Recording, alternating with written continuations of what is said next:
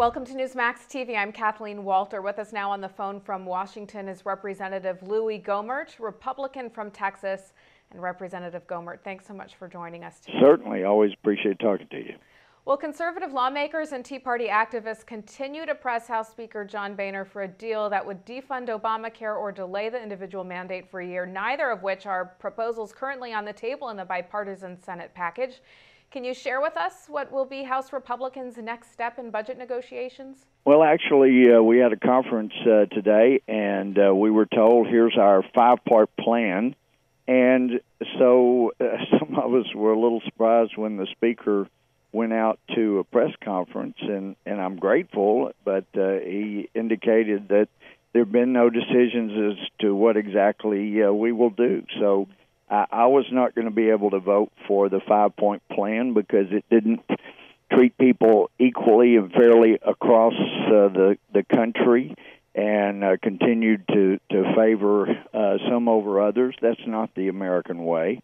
And uh, also, um, if people have lost their insurance that wanted to keep it. They've lost their doctors that wanted to keep it. And so there are things that we should do to make it fair and to preserve uh, religious liberty and people's uh, religious consciences uh, that, that Obamacare just overrides.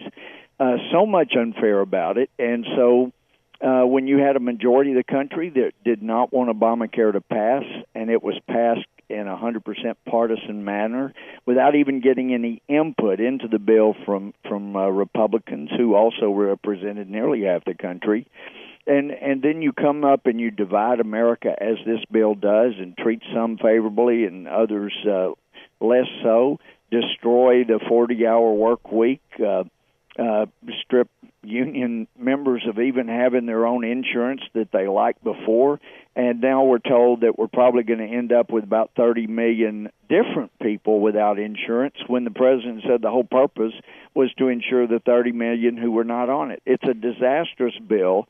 So anything that we can do to level the playing field, we ought to be doing. Louie, why do you think that President Obama refuses to make a deal with Republicans? Oh, I know exactly why he refuses to make a deal with the Republicans. It's because uh, they knew from the beginning that uh, the mainstream media would blame Republicans 100%, even though it was on, only the Republicans in the House that offered an initial deal, offered a second deal, and then offered a third uh, deal that basically just said, okay, here, let's just uh, suspend the individual mandate for a year like you've done with business, and we uh, we've got a deal.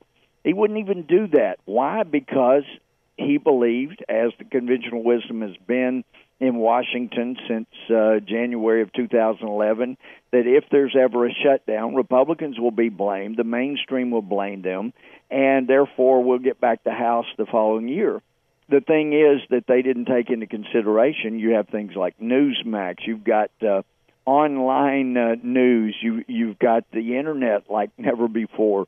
You have Fox News that wasn't around back in '95, even though some of their reporters are tending to to go with the CNN type approach, and that is, gee, Tea Party folks. Uh, even though a recent poll showed 38% of Americans identify with the Tea Party, 38%. Uh, gee, when you realize that we're only have we only have about 51 to 53 percent of Americans paying income tax, and the common thread that all the Tea Party people I've met, it's not because they have the same race, they don't, or national origin, or or economic status. The one th- line that runs through all Tea Party folks that I've met is they pay income tax. Mm-hmm. So they're they're the largest ma- majority of income tax payers in America.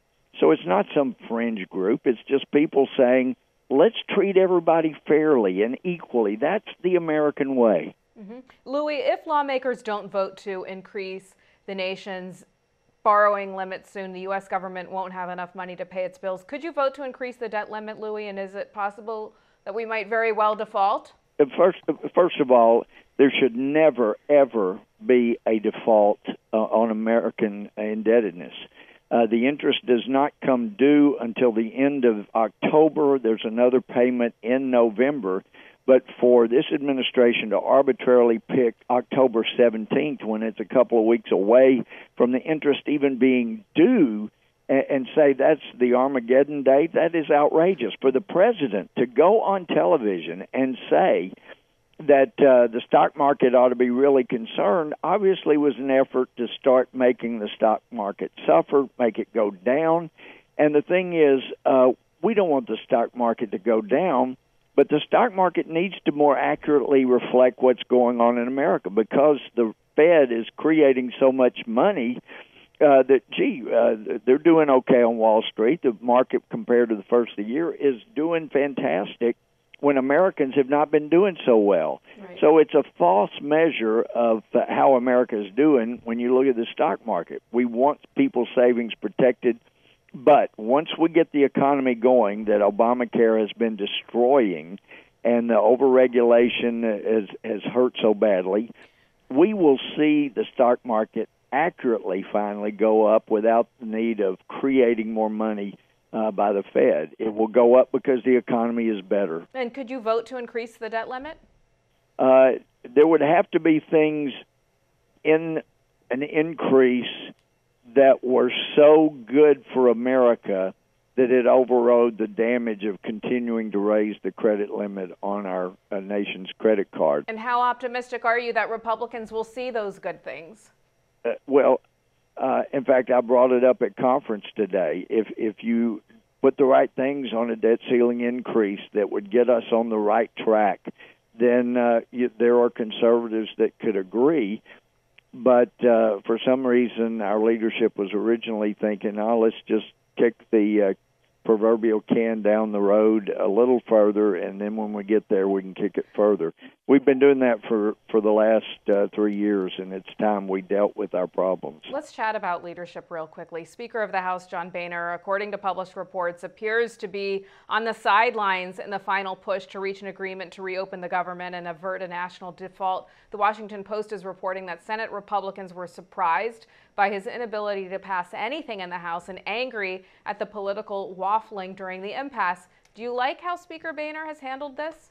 And actually, I uh, I think it is grossly unfair that the speaker uh, to say that the speaker could not pass anything. We we passed compromise after compromise with ourselves, and the last bill was just capitulation and saying, "Okay, all right, shutdown's about to start, so all you got to do is appoint conferees or negotiators as the Constitution, law, and rules require, and they'll have something worked out by morning. Harry Reid would not even agree to do that. So I think it's grossly unfair to say that the Speaker has not been able to pass anything because the truth is, Harry Reid is the guy that's had his head in the sand and something else sticking up and has not been able to pass anything but a, a no. I mean, uh, saying no, no, no, no, no is not negotiation, and that's all that they have been willing to do. And that's all the president has been willing to do. You remember his first meeting? He called the leaders up to the White House and he ended up telling them, I just wanted to call you here for this meeting to remind you that I'm not going to negotiate.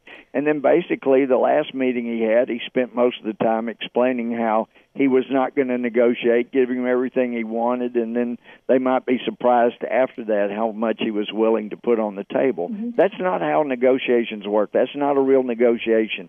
That is a, a spoiled, petulant approach to to sitting down and working things out. That's not the way that government's supposed to do it. Last question for you, Louis. We have about 30 seconds. Representative Peter King says that the GOP should start going after Senator Ted Cruz to stop him from repeating the actions that Representative King says led to the government shutdown. What do you think about Peter King's remarks about your fellow Texan? I love I love Peter King, uh, but uh, he's he's wrong on this one this has brought so much light and emphasis on the Obamacare and the unfairness. And those that say that we could have been talking about Obamacare if there were no shutdown don't realize we wouldn't have been.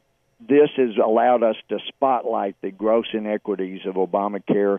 And uh, so Ted helped do that. And so to Ted, I say thank you. All right, we'll leave it there. Representative Louie Gohmert, thanks so much for joining us. Thank you. And thank you for watching Newsmax TV. Thank you.